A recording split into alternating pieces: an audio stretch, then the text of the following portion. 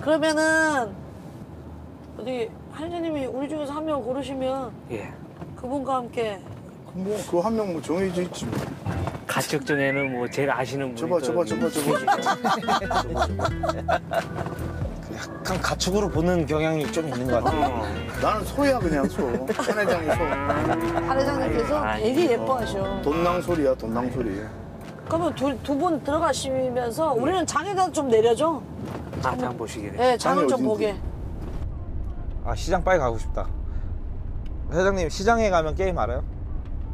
아니 몰라요. 시장에 가면 모모도 있고 시장에 가면 토마토도 있고. 그다음 다음 사람은 시장에 가면 토마토도 있고 내가 추가로 하나 말하는 아, 거야. 이렇게 하는 거. 어, 뭔 말인지 알겠죠? 예. 한번 해보실래요?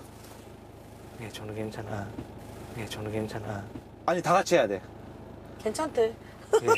내가 먼저 할게요, 예. 회장님. 시장에 가면 옥수구도 있고 시장에 가면 옥수구도 있고 토마토도 있고 시장에 가면 옥수수도 있고 토마토도 있고 닭도 있고 시장에 가면 옥수구도 있고 도마도도 있고 닭도 있고 찐빵도 있고 닭도 있고 찐빵도 있고 시장에 가면. 시장에 가면. 시장에 가면 옥수구도 아 가면 있고 땡 가면 안 됩니다 가면 안 돼.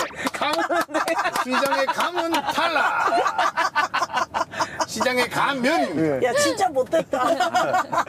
아 이거 정확한 룰을 우리가 지켜야 되기 때문에 다시 한번 기회 줄게.